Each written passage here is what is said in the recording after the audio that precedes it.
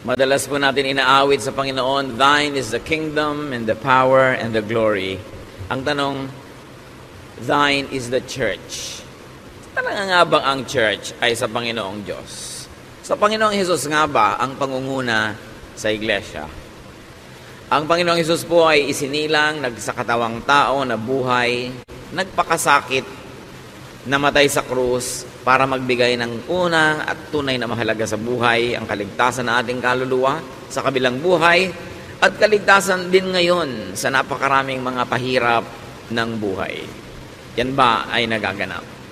In spirituality, in the practice of religion, in the search of God and godliness, what is truly important? Yan po ang ating sisikapin na itanong sa Diyos at ay hihiling ng kanyang kasagutan what's truly important. Salamat Ama dahil kami inyong iniligtas, kami inyong nilinis sa dugo ng iyong anak na si Jesus. Turuan niyo kaming pahalagahan ang central message ng kamatayan ng Panginoon at pagliligtas sa amin. Teach us, Lord, what's truly important. Use your servant as your instrument. Be the speaker. Katotohanan niyo lang ang aming marinig. Kayo po ang maging tunay na tagapangaral. Ilayo niyo kami, Panginoon, sa mga tukso, palakasin ang aming katawan, at ngayon, palusugin niyo ang aming espiritu. Sa ngalan ng iyong anak na si Jesus, ang aming Panginoon at tagapagligtas, dumadalangin kami at humihiling ng karunungan. Matthew 23, 1 to 3. Jesus said to the crowds and to his disciples, The Pharisees and the teachers of the law are experts in the law of Moses. So obey everything they teach you, but don't do as they do. After all, they say one thing and do something else. Napakalinaw po ng mga sunod-sunod na ito na katuroan ng Panginoon, ipinapakita niya yung mga kawalang kabuluhan ng pagsunod sa maraming mga itinuturo ng mga religious leaders nung kanyang panahon. The dominant religious leaders, according to Jesus, did not walk their talk. At sabi ni Jesus, listen only to the content of their teachings. Do not imitate their behavior. Matthew 23 verse 4. They pile up burdens on people's shoulders and won't lift a finger to help. Ang inaatupag daw ng mga religious leaders ay pabigatin, pahirapin ang buhay ng mga mananampalataya. Religious burdens, and of course he was referring to the many needless laws of religion practices and traditions of the people. They were needless and outdated practices and props. Outward looks, outward attire, clothes, length of hair, all those kind of things that have become big deal to the religious people. The Lord was saying now, mga unnecessary topics and issues pampabigat sa buhay. At kung nangyari yan noon, this still can happen today religious laws and policies, practices, and standards that make life difficult, that complicate life. We join church para gumaan ang buhay, para sumaya, tumahimik, pumanatag, magpasaya ng kapwa, magtulungan, sabay-sabay maghanap sa Diyos, to be accountable to God personally for our personal shortcomings and sins, and to be accountable to the congregation only for the things that directly affect them as they as we do things. Na hindi business ng mga taong kalkalin o rirati ng mga lihim na buhay ng kapwa member, ibunyag at usigin ng mga ito. Ang mga personal na bagay na ginagawa ng isang tao ay pananagutan niya personal sa Diyos. Nananagot lang tayo publicly kung ang ginagawa natin publicly and directly affect people's lives in a negative way. Pero ang nangyari, sa mga tao na pupunta sa temple, sa synagogue at ngayon sa church, nilalagay sila sa ilalim ng microscope, laging sinusuri, pinupulis, binabantayan, at ibinubunyag, ipinapahiya, pinagchichismisan, pinagpepiestahan. Bakit ka pa nag-church kung ganun din lang ang mapapala mo? Kaya ang gusto ng Panginoon, ituwid ang napakarami mga kalikuan na tumigas na ng tumigas sa pagtagal ng panahon. Dumating siya upang ituwid ang maraming mga bagay na nagpapahirap sa mga taong lumapit sa Diyos at maging makadiyos. Halimbawa, nung ang mga mananampalatayang Hudyo ay naging mga Kristiyano, at meron naman mga Gentile people na naging Christian din, gusto na naman silang pahirapan ng mga Jewish Christians. Acts 15, 3 to 5. The men who were sent by the church went through Phoenicia and Samaria, telling how the Gentiles had turned to God. This news made the Lord's followers very happy. When the men arrived in Jerusalem, they were welcomed by the church, including the apostles and the leaders. They told them everything God had helped them do, but some Pharisees had become followers of the Lord. They stood up and said, Gentiles who have faith in the Lord Jesus must be circumcised and told to obey the law of Moses. So yung mga Pharisees na dating mga sobrang relihiyoso, nagpapahirap sa kapwa nila Jew, naging mga Christian yung iba. At ngayon, ini-import nila into Christianity yung mga dating kaugalian ng Judaism na nagpahirap nga sa kanila noon. Kaya sabi nila, tuwang-tuwa kayo na naging mga Kristiyano yung mga Gentile. Eh, nagpatuloy na ba sila? Kailangan i-circumcise sila kahit matatanda na sila kasi yan ang requirement ni Moses. There's a problem here. What these Christians now were doing was to accept Jesus and the religious cultural baggage of the messenger. So sabi nila, hindi lang si Jesus na dala-dala natin ang dapat nilang tanggapin, ang atin di mga dati ng mga kaugalian, bago pa dumating yang si Jesus, kailangan tanggapin din nila. Acts 15, 6 to 9, The apostles and church leaders met to discuss this problem about Gentiles. They had talked it over for a long time when Peter got up and said, My friends, you know that God decided long ago to let me be the one from your group to preach the good news to the Gentiles. God did this so that they would hear and obey Him. He knows what's in everyone's heart. And He showed that He had chosen the Gentiles when He gave them the Holy Spirit, just as He had given His Spirit to us. God treated them in the same way that He treated us. They put their faith in Him, and He made their hearts pure. Nilinaw ni Pedro, ako ang tinuruan at inatasan ng Panginoon na unang magturo sa mga Gentiles. At nakita natin, nasaksihan ko at sinabi ko na sa inyo, kung paano tayo minahal ng Diyos, ganun din lang minahal ng mga Gentiles. Yung binigay sa atin na speaking in tongues, binigay din sa kanila. Yung baptism of the Holy Spirit, binigay din sa kanila. So, ginawa ng Panginoon yon at dahil sa pananalig ng mga Gentiles na ito, ang puso nila ay nilinis. Anong naganap dito? Napakahalaga mga kapatid. They meet and discuss the matter because that matter was not covered by Scripture nor by precedent. May naganap at nagaganap sa kanilang pananalig na hindi covered ng mga dati na nilang scriptures kasi walang ganong nangyari noong unang panahon. Gentiles becoming believers. So, wala silang mapagbabasihan na verse kung paano sila makikidil So nagmeeting sila at pinaandar nila ang kanilang God-given intelligence. Pinaandar nila yung principle of love, principle of acceptance ni Jesus, at nakaformulate sila kung anong dapat gawin dahil nga wala silang verse na pwede pagbasihan. So, pinagana nila ang kanilang intelligence. Now, the believers would not be tied down and limited by their existing and old scriptures because it did not cover this new kind of occurrence. experience and reason would be used to tackle current issues. At sa pagpapatuloy ng naganap, Acts 15, 10 to 11, Now why are you making, trying to make God angry by placing a heavy burden on these followers? This burden was too heavy for our ancestors, but our Lord Jesus was kind to us, and we are saved by faith in Him, just as the Gentiles are. So here, the leaders who are enlightened were trying to make it clear that they were saved by faith, not by circumcision. Therefore, the Gentiles are also saved by faith, not by circumcision. So why require such a surgical procedure to men who are already quite of age? So Peter and the group couldn't count the matter as needless and an irrelevant burden. Hindi na kailangan yan, pampabigat lang yan ng buhay at pampahirap sa mga tao para lumapit sa Diyos. Acts 15:19 And so my friends, I don't think we should place burdens on the Gentiles who are turning to God. Conclusion, let us not turn them into Jewish Christians, being Gentile Christians would do. Hindi na kailangan na sila ay culturally gawin nating Hudyo Yung culture nila, pwede na nilang ituloy, na naging kristyano sila, huwag na natin palitan yung kultura nila, pati yung kanilang mga asal at gawi.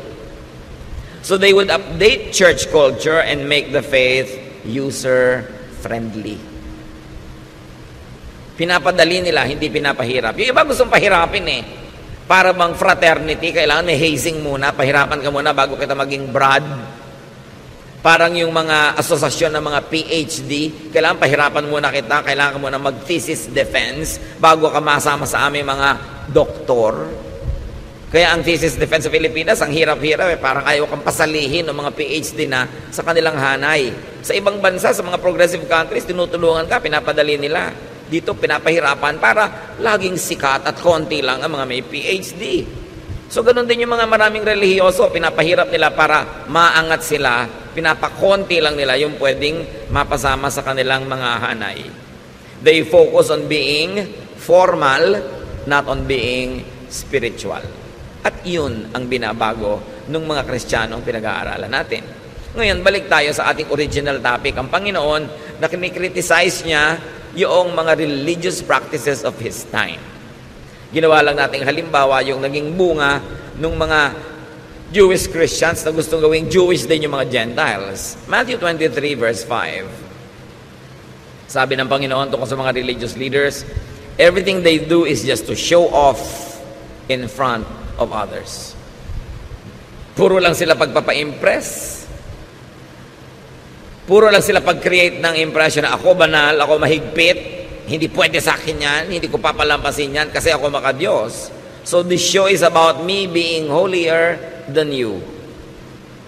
Habang ibinaba ng Panginoon sa mga tao yung katuruan, itinataas uli ng mga naging bagong Kristiyano para mahirapan na naman yung iba at huwag maabot para sila lang ang nakakaabot at sikat sila. Matthew 23, 13 to 15. You Pharisees and teachers of the law of Moses are in for trouble. Jesus continues. You're nothing but show-offs. You lock people out of the kingdom of heaven. You won't go in yourselves, and you keep others from going in. You Pharisees and teachers of the law of Moses are in for trouble. You're nothing but show offs. You travel over land and sea to win one follower. And when you have done so, you make that person twice as fit for hell as you are. Ang mga pinakamababagsik na salita ng Panginoon ay hindi niya binitawan sa mga tinatawag na sinners, binitawan niya ito sa mga tinatawag na banal, sa mga relihiyoso, sa mga religious teachers and preachers. Sabi niya, ang gagaling nyo, wala kayong ginawa kundi magpakitang tao. Pinagsasarhan nyo ng pinto ng langit ang mga tao dahil kayo man ay hindi makapasok. Naghihirap kayo para pumunta sa maralayong lugar para mag-convert ng mga kaluluwa at pag na-convert nyo na sila, dinodoble nyo lang ang kanilang mga bigat sa buhay, lalong hindi sila makakapasok sa kalangitan. Hindi nyo kayang magturo ng kalangitan dahil hindi nyo yan nararanasan. Yan ang sinasabi ng Panginoon sa mga religious leaders. Puro kayo bawal, puro kayo mga paghuhusga, puro kayo mga pagpupwera, pagmamataas, pagmamalaki, puro mga pagpapalabas na kayo mga magagaling at mga matatalino at mga banal.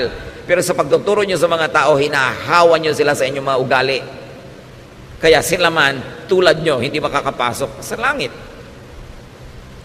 Teachers could, according to Jesus, lock people out of the kingdom of heaven by showing them wrong the wrong door, the door of ritual and other non-essentials.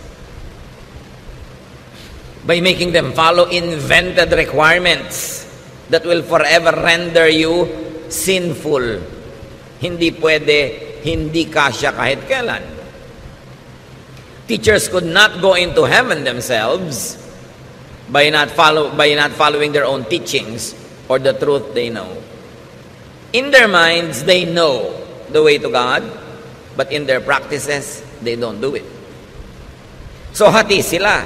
Iba yung iniisip, iba yung ginagawa. Iba yung public pronouncements, iba yung private life. At walang taong hati ang nakakaranas ng kalangitan o nakakapasok dito dahil ang gusto ng Diyos ikay buo. Kaya nga buong-buo tayong iniligtas eh. Buong-buong nilinis, buong-buong sinagip para buong makarating sa Diyos dahil tayo yung mga hati. Nagiging buo tayo dahil sa pananalig natin sa Panginoon nagiging malinis, nagganap dahil sa pananalig sa Kanya, hindi dahil sa ating mga accomplishments. Teachers could keep others from going into heaven by discouraging and frustrating an honest search for it. Marami mga tao, they honestly search for God. But they get frustrated by the religious system that pretend to know and to show them the way. Kung natatandaan nyo sa Noli Me Tangere, na ang tunay na ama ni Maria Clara ay si Padre Damaso. At nung si Maria Clara ay nalito na saktan, nawala ng gana sa buhay, sabi niya siya ay magmamongha, siya ay magmamadre, para hanapin niya ang Diyos. At sino ang kauna-unahang sumalungat at sobrang ipinagluksa yung desisyon na yon? Yung tatay niya na pare na si Padre Damaso. Sabi niya, huwag, huwag, hindi mo alam ang sinasabi mo, hindi mo alam ang susungin mo. Dahil kung merong nakakaalam kung saan patungo ang mga religious teachings, dapat religious leaders. Ang problema, maraming religious leaders, alam naman nila na yung kanilang mga ipinagtuturo ay walang kakauwian, nakapayapaan, katahimikan, pero yung pa rin publicly ang pinipilit nilang ituro pag, para magmukha silang banal. Napakahalaga na magkaroon ka ng personal search for God.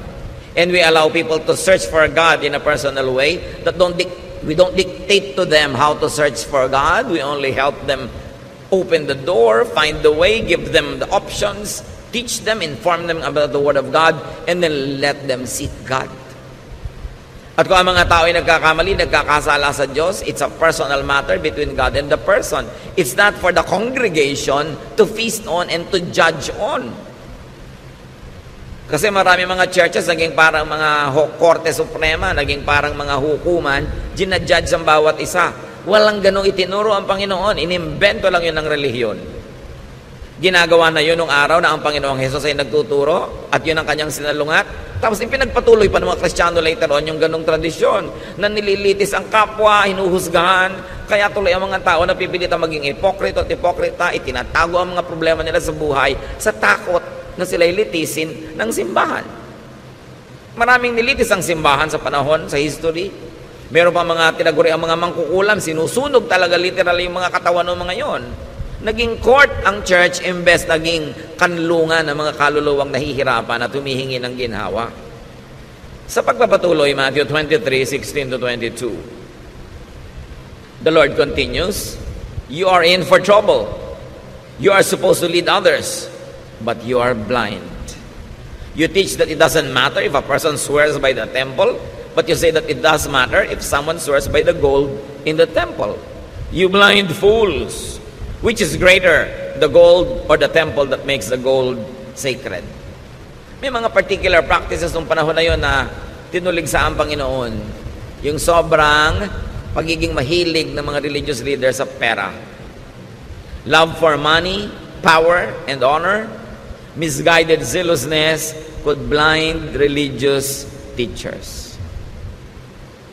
Kaya ito ay tinuligsan ng Panginoon na huwag mong kikilingan yung tao dahil mas mayaman, dahil mas malaki yung donation. At yung mga religious leaders, huwag mag-agawan, magbangayan, agawan ng mga member mayaman, ng mga donor. Nung paman, kinikriticize sa'yo ng Panginoon. Kaya hanggang ngayon, challenge pa yan sa maraming mananampalataya.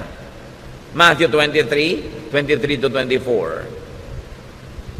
You Pharisees and teachers are show-offs, and you're in for trouble. You give a tenth of the spices from your garden, such as mint, dill, and cumin.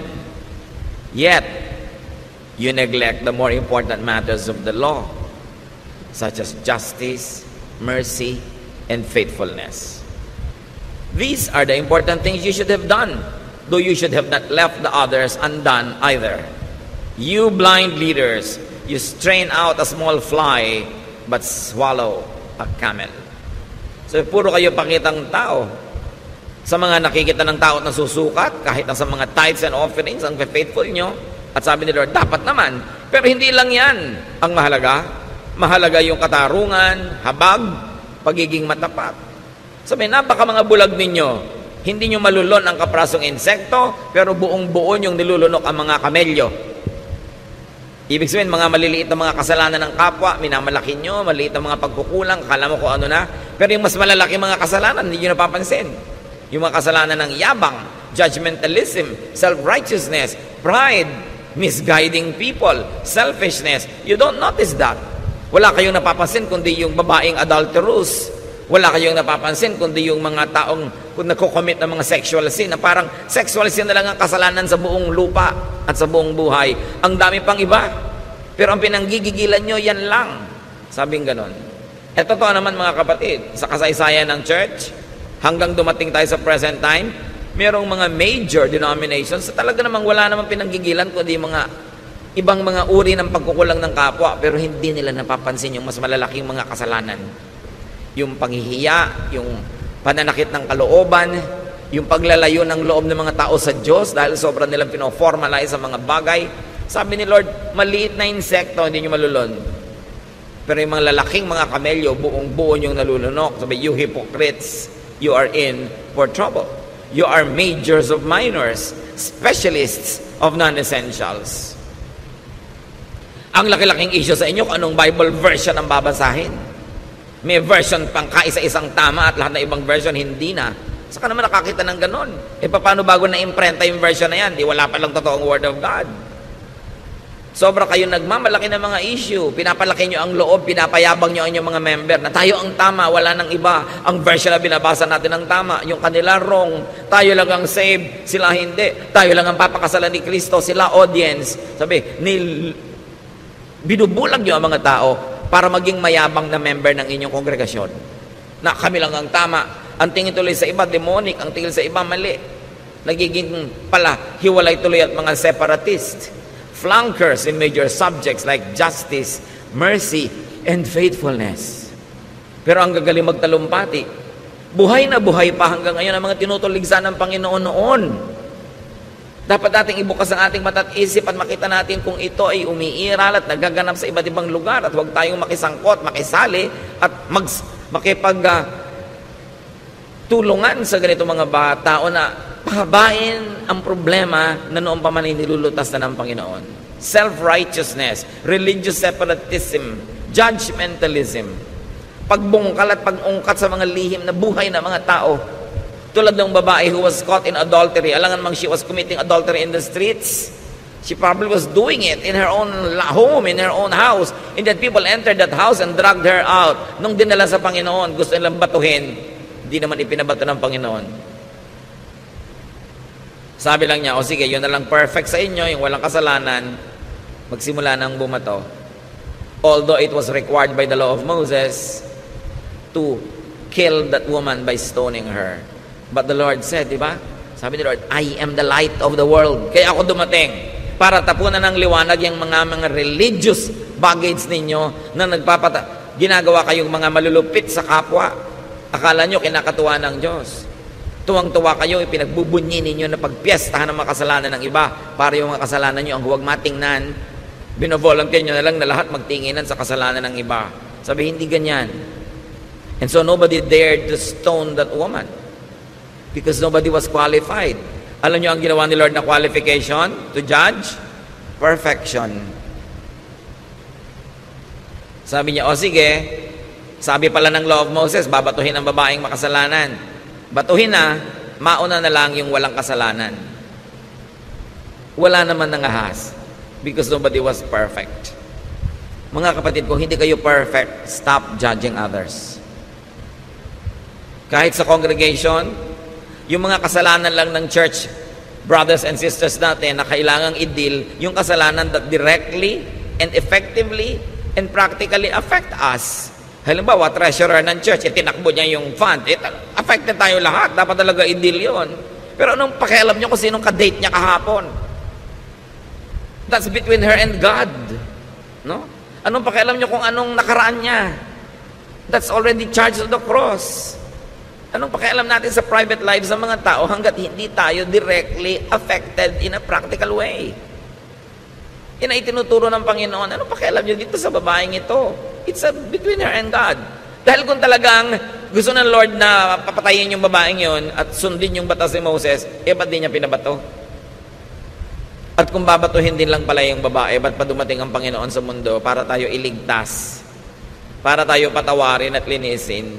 Hindi lang tayo inililigtas sa impyerno at sa mga impakto. Inililigtas din tayo sa mga relihiyosong sobrang makialam sa buhay ng kapwa na gusto nilang parusahan yung mga taong gumagawa ng mga private sins.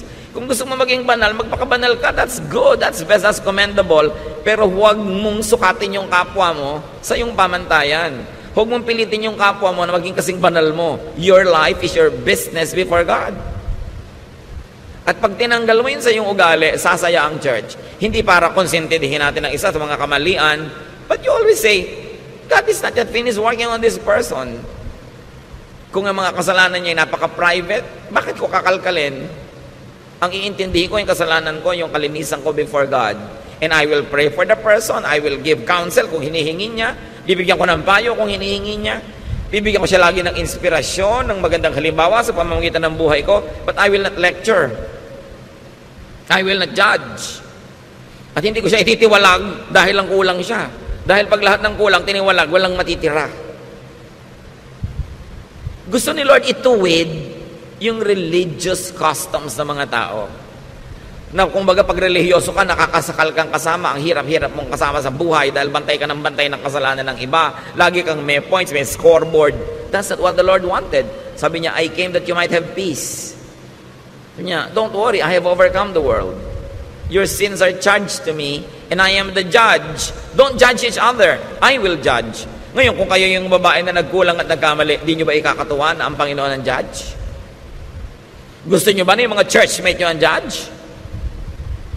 At kung hindi nyo gusto na i-judge kayo ng churchmates, don't judge your churchmates. Let Jesus judge them. And up to now, Jesus is still Savior, not yet a judge. So bakit natin siya uunahan? Now, religious fanatics could be unjust, merciless, uncaring, and cruel because they kill the opposition or the competition. May mga congregation naman kaya mahigpit, marketing lang nila yon para i-market nila ang sarili nila, maka-Diyos, godly, mahigpit. So sa amin kayo mag-member, huwag dyan sa mga maluluwag na yan, walang mangyayari sa buhay nyo. Pero subukan nyo mag-member doon sa ganun kahihigpit. Subukan nyo lang. Maglingkod kayo ng 20, 30 taon. Tama ang hairstyle nyo, yung gupit nyo, yung haba. Tama ang headline ng inyong damit. Tama ang lahat ng ginagawa nyo. Subukan nyo magkamali after 20 years ang paglilingkod. Sisipain nila kayo. Promise. Tatanggalin nila kayo, ititiwalag nila kayo, kakalimutan nilang kapatid nila kayo. Alam niyo, ang pinakamakalimot, maka, mabilis makalimot ng magandang pinagsamahan, mga Kristiyanong mahihigpit. Ang tagal-tagal mong brother and sister in the Lord, subukan mong madapa, magkamali, kauna-unahan silang lalapa sa'yo. Mahirap sila mga kaibigan. Kasi, you're only a friend as far as you are holy. Pag nagkamali ka na, hindi na. Eh, mabuti ng mabuti kung kaya mo maging holy 100% of the time. Kaya yung iba, nagpe-pretend tuloy. Nagpapanggap sa takot na matiwalag. Sa takot na mapagpiestahan, mabulletin board, mapulpito, maipahiya. Religious fanatics could be unjust because they think that killing for religion pleases God. Katulad nun, yung mga tao, papatayin nila yung babae. Imagine a person that you will stone to death. Siyempre, hindi naman patay agad yon mangingisay-ngisay pa, bubula pa ang bibig, dudugo, magkakapasa-pasa, bato ka pa ng bato. Anong tigas ng puso ang pwedeng meron ka para gawin yon? At bakit mo sasabihin galing sa relihiyon o galing sa Diyos yung tikas ng puso na yon? Liban na lamang, you were brainwashed by religion to think that God is pleased when you kill somebody because that somebody fell short of God's glory. But you can kill somebody in many ways. Hindi mo na kailangang batuhin ang tao. Pag chismisan nyo lang, is a kind of murder. Pinapatay mo yung kanyang reputasyon, pinapatay mo yung kanyang happiness, yung kanyang peace, yung kanyang pag-asa yung i-judge mo ang isang tao is a form of killing. That's why Jesus said, sige, bumato na lang yung walang kasalanan. In effect, he said, walang pwedeng bumato. Ako lang. At hindi ko binabato ang babaeng ito. So wala kayong karapatang mambato.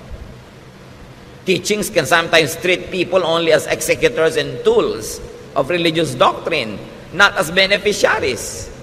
Nandiyan ka lang dahil kasangkapan, gagamitin, maglilingkod ka. Pero oras na ikaw na yun nangailangan at nagkamali at kinapos ng kabaluwalhatian, isusuka ka na na para kang isang basura. You know? Yan ang kinikritas ng Panginoon. Religions that are big on small things, but are small on the big things that matter. Kaya tingnan ang ugali at ang asal ng isang tao, hindi kung anong version ng Bible ang binabasa niya. Tingnan yung climate ng pagmamahalan, pagsasamahan sa isang kapatiran, hindi kung ano yung uri ng mga kantang kinakanta nila o kung gaano kahahaba ang kanilang mga palda at buhok. Yan ay sinusukat sa ugali, sa pagkatao, sa epekto sa iyo ng pag-aaral ng salita ng Diyos. Matthew 23, 25 to 28. You Pharisees and teachers are show-offs, and you're in for trouble. Jesus continues. You wash the outside of your cups and dishes, while inside there is nothing but greed and selfishness. You blind Pharisee, first clean the inside of a cup, and then the outside will also be clean. You Pharisees and teachers are in for trouble. You are nothing but show offs. You're like tombs that have been whitewashed. On the outside, you are beautiful, but inside, they are full of bones and filth. That's what you are like. Outside, you look good, but inside, you are evil and only pretend to be good. Can you imagine these words coming out of the mouth of the Son of God? Sabi, akala nyo ang gaganda nyo, ang lilinis nyo, ang gaganda ng costume nyo. Taman-tama ang mga haircut nyo, ang inyong mga style, pero mga bulok kayo sa inyong mga. Dahil puro pakitang tao lang ang inyong relihiyon. Hindi kayo marunong magmahal, hindi kayo marunong umibig. Napakalulupit ninyo sa mga taong itinuturing ninyong kulang sa kabanalan. So there's form more than substance. There's appearance more than truth. Therefore, it results in internal division, disunity, discord, and oneness. Therefore, there will be no heaven in such people's lives.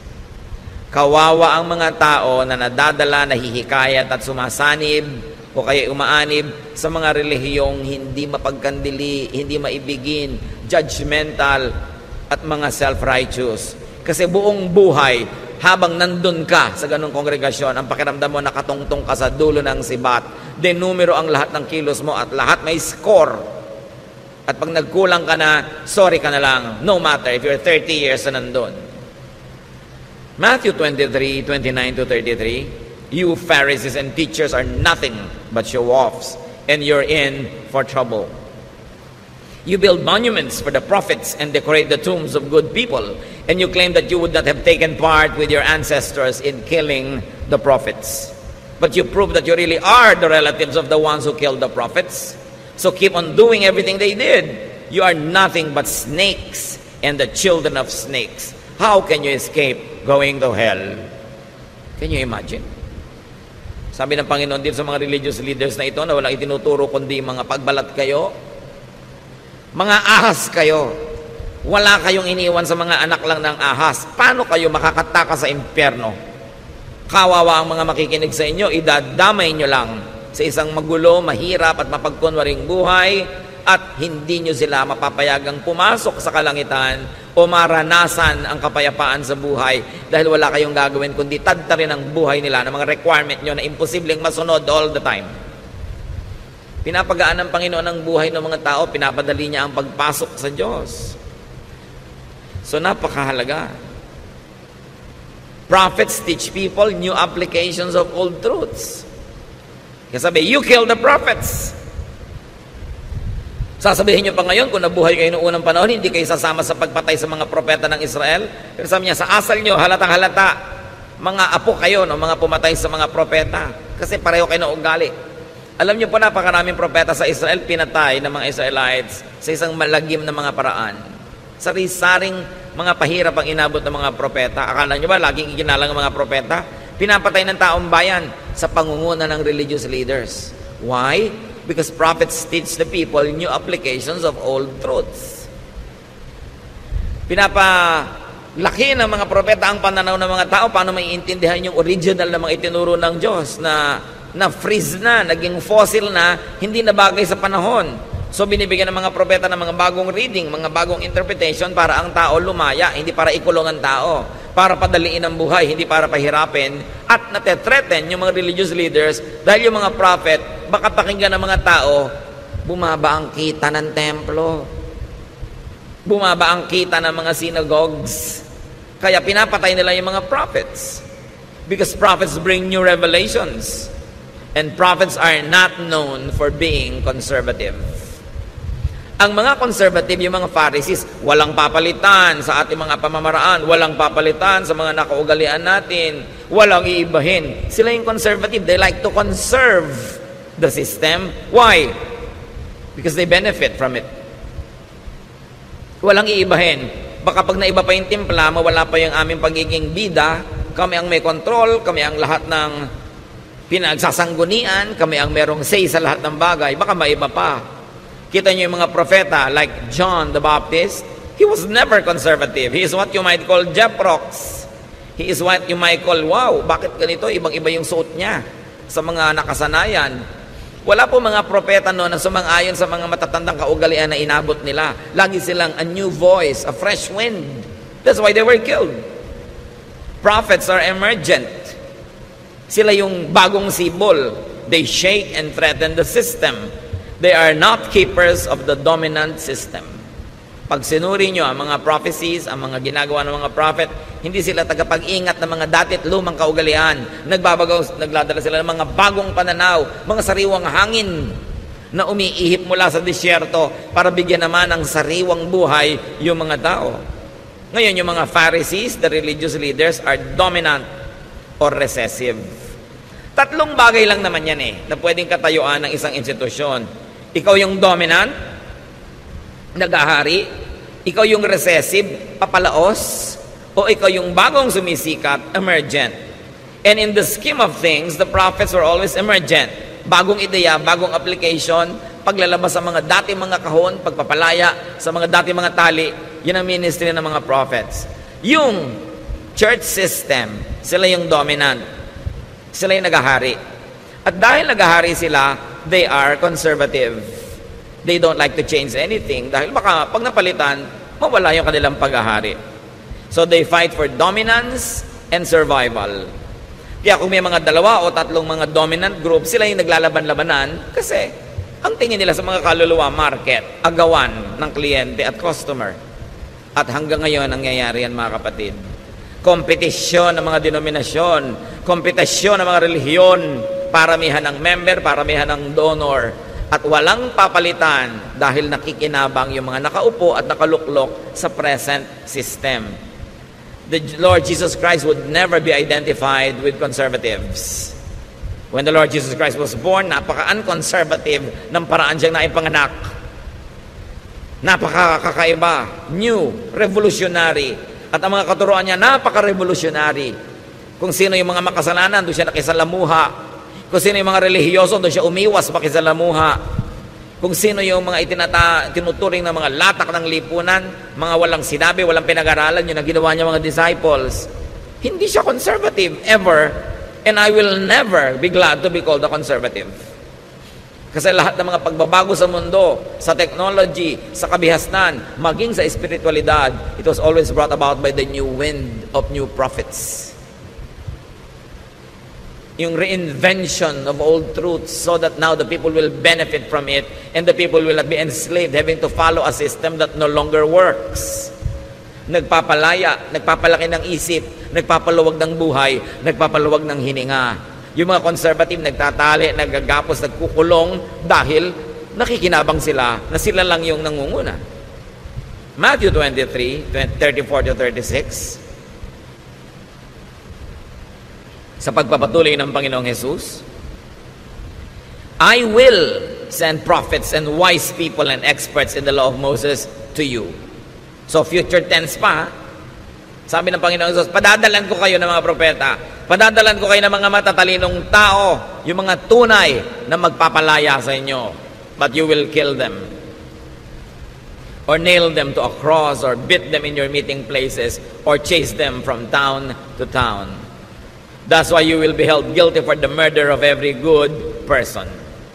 I can promise you that people living today will be punished for all these things. Sabi niyo, alam nyo, padadalan ko pa kayo ng mga magtuturo pa sa inyo, mga bagong ideya, nakakapagpalaya, nakakapagpaluwag ng buhay. Pero alam niyo ang gagawin nyo? Uusigin ninyo. Babantaan ninyo Le-labelan nyo na kung ano-ano mga labels, tatawagin yung mga demonic, evil, etc., etc., at papatayin nyo kung pwede pa. Sabi niya, mananagot kayong lahat sa ganyang mga gagawin ninyo. May mga nagtatanong, meron pa po ba mga prophets ngayon? Why not? Sabi nga ni Lord, I will send pa eh, future tense pa. Those who insist na wala na, they only probably want to control your thought para sa kanila na lang kayo makinig at hindi na sa iba pa. Pero siyempre, kung meron mang ipapadalang mga totoo, lalo namang maraming pinapadala si Taning ng mga false. Kaya dapat sinusuri. Sabi ni Lord, you will know them by their fruits. Tingnan nyo bunga. Ano ba yung tunay na bunga ng isang guro? Hindi lang yung nangyayari sa buhay niya, mga kapatid ha. Yung nangyayari sa buhay nyo dahil nakikinig kayo sa kanya. Yun ang bunga. Lumuluwag ba yung buhay nyo? Nagiging mas mahal nyo ba ang Diyos? Mahal nyo ang inyong kapwa? Mas nakakalaya ba kayo? Pero hindi kayo kinukonsinte sa kamalian? Pero hindi naman kayo hinuhusgahan? Hindi kayo binapahiya, binubulgar? Ano nangyayari sa buhay nyo? Kayo ang bunga. Kaya kayong makakaalam, good teacher ba? Good church ba? Good congregation ba? Tingnan mo sarili mo, anong nangyari sa akin mula nung nakinig ako dyan? Yun ang bunga. Hindi yung, ay, ang ganda ng bunga niya kasi tama ang gupit, maiksi ang buhok, malinis ang kuko, laging ganito ang suot. Hindi bunga yun, costume yun. Ang bunga is, how are you affected by the teaching? Because you are the fruit. So ang tanong, may mga Pharisees pa ba ngayon? Natural, marami. At ayaw nila sa mga false prophets. And listen, ayaw din nila sa genuine prophets. Kasi gusto nila, sila lang ang papakinggan. Sila lang ang hinirang ng Panginoon. Ang version lang nila ng Bible ang tama. Ang teaching lang nila ang totoo. Ang church lang nila ang i-honor ni Lord. Maniniwala pa ba kayo sa mga panahon na ito sa ganyang mga kagilagilalas na kasinungalingan? Marketing yan. Gusto nila, sila lang ang ligtas, sila lang ang totoo, sila lang ang tama. Be careful with people that say sila lang ang tama at ligtas at wala nang iba. Yan ang talagang mark, pinakamalaking mark ng kulto. Yung solohin mo ang Diyos, sa'yo lang sila, wala na sa iba. Tatakutin mo yung member mo, kahit ay, gusto mo siya umalis. Pag umalis ka sa amin, matatagal ang kaligtasan mo. Hello? Dapat mag-isip na ang mga tao. Tapos na ang panahon ng kamangmangan. Ang Biblia ay nababasa na ng lahat ng tao. Napakarami na natin pwedeng malaman kahit na hindi ka mag-Bible school sa mga internet. Although hindi mo papaniwalaan lahat na babasa mo. Dahil kahit mga sinungaling, nakakapag-post doon. Pero marami ng accessible knowledge, hindi na solo ng mga experts. Kaya ang tao ngayon hindi namang mang. Hindi na pwedeng dinadaya-daya dahil ang tao marunong mag-isip para sa sarili. At panahon naman para gawin na yon. Dapat ang tao marunong mag-isip para sa sarili. Matthew 23, 37 to 39. Jerusalem, Jerusalem, your people have killed the prophets and have stoned the messengers who were sent to you. I have often wanted to gather your people as a hen gathers her chicks under her wings, but you wouldn't let me. And now your temple will be deserted. You won't see me again until you say, Blessed is the one who comes in the name of the Lord. Sabi ni Lord, naku Jerusalem, napakarami mong pinatay na prophet. Napakarami mong binato na mga lingkod ko na ipinapadala sa iyo. Hindi ko malaman yung mga iba kung bakit sobrang napalaking big fans ng Jerusalem. Samantalang si Lord mismo nagsasabi, Jerusalem, napakarami mong kasalanan. Napakarami mong pinatay na matutuwid na tao. At hindi ba, si Jesus na nga ang kauna-unahang ipinakul doon. Yung iba naman parang sobrang nagpapatira pa sa paanan ng mga Hudyo na akala mo yung mga Hudyo ang mga anghel sa langit. Pare-pareho lang nila tayong tao, pare-pareho lang tayong mahal ng Diyos, pare-pareho lang tayong ililigtas ang Panginoon. At hindi ka dapat nagpapatira pa sa lahi dahil lang yun ang lahi niya, dahil siya ay Jew, dahil siya taga-Israel. Sabi nga ng Panginoon, naku, napakarami mong binatay Jerusalem. Napakarami mong atraso sa langit. Ang dami mong iniligaw. Hindi naman natin, siyempre, magkakaroon tayo ng negative feeling sa mga taga roon. Pero huwag ka namang magpa-atchoy at magpa-atchoy sa kanila dahil lang Jew sila. Pare-pareho tayong anak ng Diyos at iniligtas ng dugo ni Kristo. Dapat may dignity ka rin sa iyong racial uh, identity. Hindi agad-agad mo isinusuko dahil taga-Israel ito, taga-Israel yun. Mahal ng Diyos ang lahat ng tao. At sino man ang susamba sa Kanya at maglilingkod ay mamahalin niya. Sabi nga ng isang propeta, kahit yung mga bato, pwedeng gawin mga apo ni Abraham. Huwag niyo ipagyabang na mga Hudyo kayo. Kasi kung Hudyo nga kayo, hindi mo kayo sumasamba, baliwala yan. Mabuti pa yung Gentile. Ilagay natin ang lahat sa tama. Huwag tayo ngayon magpairal ng bagong religious colonialism na may bago naman mga amo. Pagka taga-Israel, amo na natin agad. Dapat ang amo lang natin ang Diyos. At meron tayong dignity, pagmamahal maging sa ating racial identity. Hindi agad-agad mo sinusuko. Now, today's new prophets teach new applications of old truths. And they update the faith. And they update the church. Today's Pharisees, the establishment, will resist change. They will take shelter in conservatism. Conservatism is the defense and offense of the dominant and the recessive. Pag ikaw nagahari o papalaos, gusto mo conservative because you want to sit on past glory. Jesus and the prophets were far from conservative. Spiritual growth church growth and the growth of the kingdom of God is not in conservatism. It is in dynamism and continuing reinvention of ourselves. So, why do we review? And why do we study these principles? Because we are bombarded by religious marketing of the dominant Pharisees, the rich, big religious corporations that compete for our soul and for our loyalty. What's truly important according to the Lord? Mercy. Mahabagin ka ba? Tinuturuan ka bang maging mahabagin? Justice. Katarungan. Faithfulness, truthfulness. But really, the Lord says that the most important is love. Pag-ibig. Yan ang tunay na susi, yan ang tunay na sukatan kung makadiyos ka o hindi. This is what to give, to promote, to implement, and to look for. Seekers of God through religion must seek for love, must seek for signs of love in the climate of love where they want to find God. Hindi yung para kang pumasok sa kulungan, pumasok ka sa husgado o sa police state. Yun ang pinaka-least loving of all. Sayang ang pagod, sayang ang panahon. 1 Corinthians 13.1 What if I could speak all languages of humans and of angels? If I did not love others, I would be nothing more than a noisy gong or a clanging cymbals. Sabi, eh ano ngayon, kung marunong ko mag-speaking in tongues, na minamalaki nung araw sa Corinthians yan, sabi ko, hindi ako maibigin, baliwala yan. Para lang akong ingay na walang katuturan. Sabi niya, of course, others there, if I do not love others, others means the other. Yung hindi ikaw, yung hindi mo kamuka, yung hindi mo kagrupo. Loving the other. Love others. Without love, religious eloquence is meaningless. 1 Corinthians 13.2 What if I could prophesy and understand all secrets and all knowledge? And what if I had faith that moved mountains? I would be nothing unless I loved others. So all the seminary education, all the PhDs, all the experience in ministry without love, prophecy, knowledge, and faith are meaningless. Love pa rin. Hindi nyo hinahanap yung strict church ba ito? Doctrinal ba ito? Ang hahanapin nyo, loving church ba? At ang dadalhin nyo sa church, love din. Kung gusto nyo maging loving yung climate, love ang dadalhin ninyo. Hindi yung mga kabaligtaran nito. We all contribute in creating a climate in the fellowship. 1 Corinthians 13.3 What if I gave away all that I owned and let myself be burned alive? I would gain nothing unless I loved others. Yung mga unloving churches, minamaliit, nililibak nila yung word na love. Pag sa kanila yung love, hippie yan, durog yan, drug, durugista yan, yung mga ano yan, mga wala yan, mga pasawayan. Sa kanila ganoon na ibig sabihin ng love eh minamaliit nila yung word na love. Akala nila yung love yung pagiging careless, pagiging uh, bangag, pagiging lasing.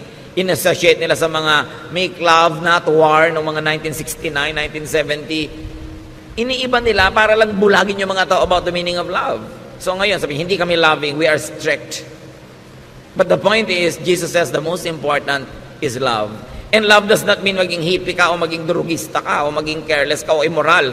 Huwag nating papababain ang ibig sabihin ng love. Love is understanding your fellow men, giving them time to grow and not judging them while you are continuously praying for them and helping them. That's what love is all about. Without real love for people, charity and sacrifice are nothing. So religious eloquence, religious brilliance, and religious giving are nothing when not done in love and for love of others. For what else could this be done? Halimbawa, charitable ka, eloquent ka, you could also do it for love of self, for self-promotion and self-preservation. 1 Corinthians 13, 4 to 7. Love is kind and patient, never jealous, boastful, proud, or rude. Love isn't selfish or quick tempered. It doesn't keep a record of wrongs that others do. Love rejoices in the truth, but not in evil. Love is always supportive, loyal, hopeful, trusting. So love doesn't keep a record of wrongs that others do. Keep that in mind. Religious zeal, especially self-righteousness, judgmentalism, and congregationalism could oppose love. 1 Corinthians 13, 8 to 10. Love never fails. Everyone who prophesies will stop. So mawawala ng halaga yung mga prophets at prophecies. And unknown languages will no longer be spoken. So mawawalan din ang halaga yung mga speaking, speaking tongues na yan all that we know will be forgotten. So all knowledge, katalinuhan, galing, mawawala. We don't know everything, and our prophecies are not complete. But what is perfect will someday appear, and what isn't perfect will then disappear. So niyang konti-konti nang alam natin, huwag tayong magyabang. Pati prophecies natin hindi complete. Be careful of people who say they know everything. They know all the answers. They know all the doctrine. Sinungaling yun. Kasi sabi sa Bible, we don't know everything and our prophecies are not complete. So ang isang tao talaga na responsable, na pwede pagkatiwalaan, yung tao nagsasabing, ako rin, naghahanap pa. May mga iba na ako natagpuan, may nalaman na ako, pwede ko i-share sa iyo, pero iba hahanapin pa natin. I don't know all the answers. Be careful about people who pretend that they know because they will mislead you. Now, love is perfect. Religiosity is imperfect and will stop. 1 Corinthians 13, 11 to 12. When we were children, we thought and reasoned as children do. But when we grew up, we quit our childish ways. Now all we can see of God is like a cloudy picture in a mirror. Later we will see Him face to face. We don't know everything, but then we will, just as God completely understands us. Inyo nung mga bata pa tayo, especially bata ka pa sa pananalig, bata ka pa sa spirito, isip bata ka. Pero dapat dumarating yung time na nagmamature ka. At ang nagmamature naman, hindi ibig sabihin nalalaman mo lahat. Nalalaman mo lang na hindi mo alam lahat. Yun ang ibig sabihin ng maturity. Therefore, you become more careful, you become more humble, and less self-assuming. Sabi, hindi naman natin talaga makikilala ng lubos ang Diyos ngayon eh. Kasi ang laki-laki ng Diyos, ang daki-dakila niya, ang liit-liit natin at marami pa mga takip-takip sa mga mata natin. So, sino ang makakapagsabing alam na alam ko, kilala-kilala ko ang Diyos at yung pagkakaalam ko, pagkakakilala ko ang kaisa-isang tamang interpretation. Sabi niya, hindi ganun. Pagdating ng panahon, makikilala natin siya. Pag naka, face-to-face na tayong humarap. Pero ngayon, sinisikap nating makilala siya. Nobody can pretend to know God completely and to know all the answers. Pero itong mahalaga, sabi niya, kilalang kilala tayo ng Diyos.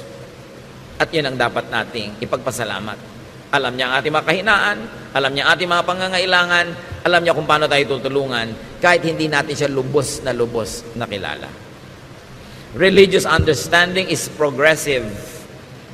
No one should be trapped and frozen in just one stage. Kung yung pagkakakilala mo sa Panginoon 20 years ago, mga kostumbre mo, ugali, 20 years ago hanggang ngayon, hindi na iba, hindi ka nag-grow. Progressive eh.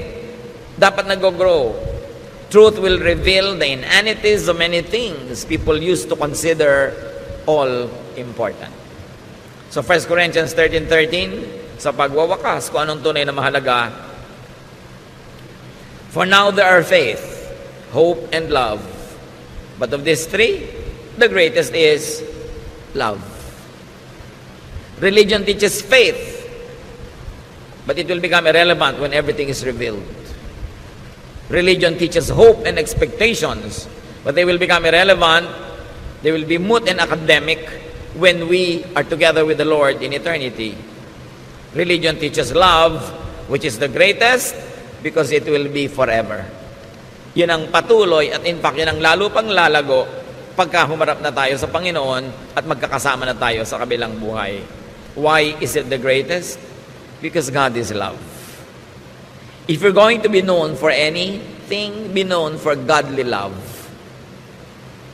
And if you're going to look for anything important in a fellowship, in a group, look for love. In your family, in your circle of friends, promote love. Be part of those people that make love alive and make laugh, make life a little bit more loving. Bring religiosity and spirituality to the next level. And that is love. Alam nyo na yung Bible, matagal na, alam nyo na yung mga doctrine, eto na lang, loving ba tayo? At kung loving tayo, salamat sa Diyos, pero let's keep on loving more because God is love. Ama namin, salamat. Salamat na lang dahil ganun kayo, ganun dapat yung church. So kaming mga laging nagkukulang, kaming mga hindi perfect, kaming may mga kapintasan, meron pwedeng silungan, puntahan, at pwede kaming umasa na kami kakalingain, mamahalin, iibigin, bagamat hindi ko konsentihin. Pero patuloy na ipapanalangin, patuloy na tuturuan, i-encourage, at kahit kailan, we will not be rejected. Teach us this brand of love. And help us, O Lord, to make this love the climate, the flavor of our lives. Pagbulay-bulayan natin ang mga ito mga kapatid at hanapan ng mga personal application sa inyong personal na buhay, sa inyong family life, sa ating church life, at sa life natin bilang isang bansa, isang lipunan. Lord, teach us to bring these lofty and noble ideals into working modes in our daily life. Turuan niyo kami, Panginoon, na i-apply ang mga ito sa pang-araw-araw at mga practical na buhay namin. Let's be alone with the Lord and let the Spirit speak to us.